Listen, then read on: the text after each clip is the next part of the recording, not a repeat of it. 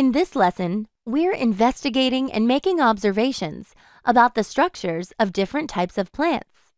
Check out this clip of giant sequoia trees. Now think about the trees in your neighborhood. Do you know the name of any tree parts? How are trees similar to other plants you've seen? How are trees different from other plants you've seen? In this activity, you'll be observing the parts of a plant. To investigate the parts of a plant, you'll need a plant, a hand lens, crayons, and a flashlight. Before we start, make a prediction. How are parts of a plant different? Share your prediction with your small group, then select Continue.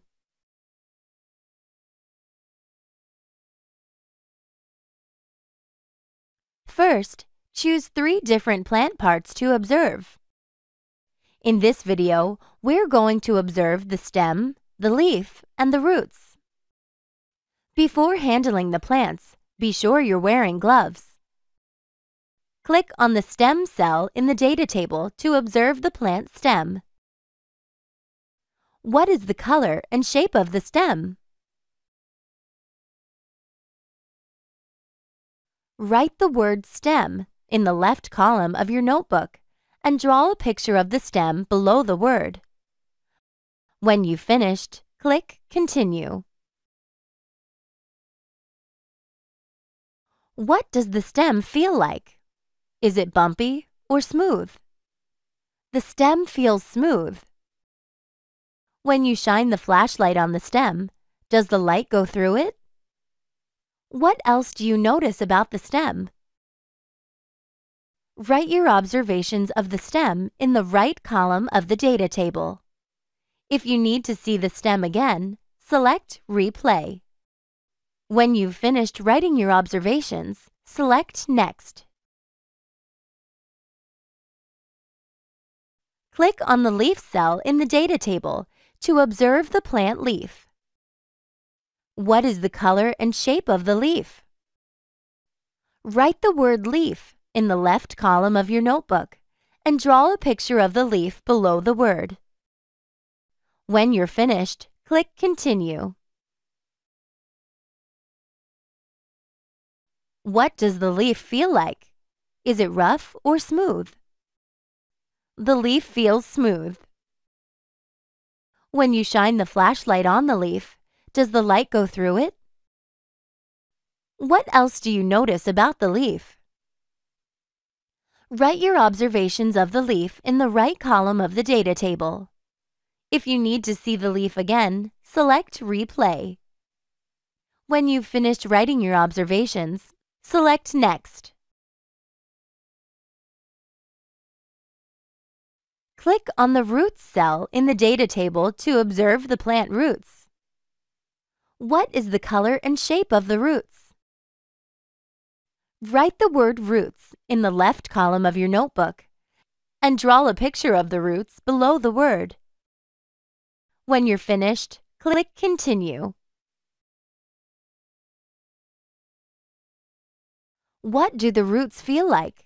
Are they stiff or do they bend? The roots bend. When you shine the flashlight on the roots, does the light go through them? What else do you notice about the roots? Write your observations of the roots in the right column of the data table. If you need to see the roots again, select Replay. When you've finished writing your observations, select Next.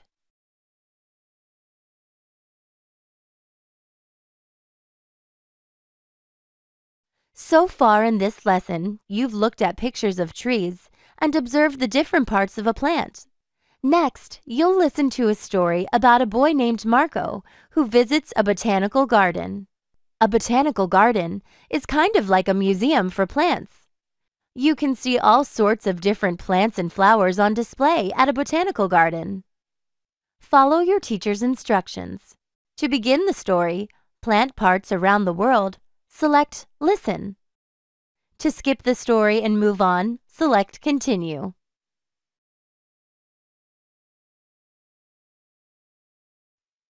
Marco and Dad visit the botanical garden. Tall sunflowers wave above them.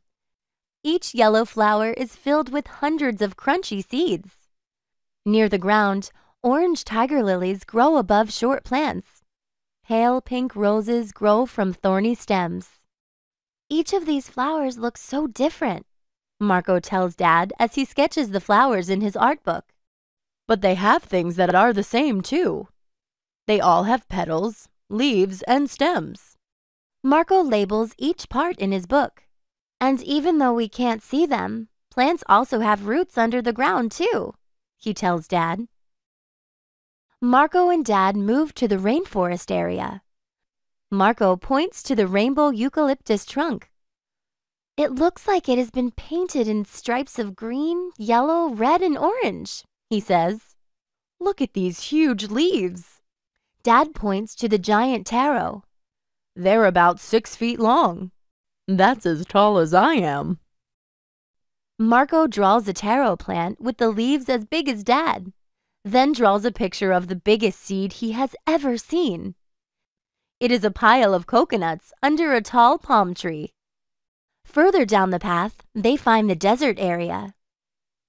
These plants have small, skinny leaves, Marco says, pointing to a row of cacti. Some people don't know, but the needles or spines on a cactus are actually leaves. Shiny red balls grow on top of one cactus. These are fruit, Marco says after reading the sign. They are called prickly pears. Birds, deer, and rats eat this fruit. People make jam out of it too. On their way to the gate, Marco and Dad stop by the pond. Floating lily pads cover the water. Skinny cattails wave above the water's edge. We'll see you next time. Marco and Dad wave their goodbyes to the plants in the beautiful botanical garden. Next, use what you've learned from the story and your observations during the investigation to complete the rest of the activity.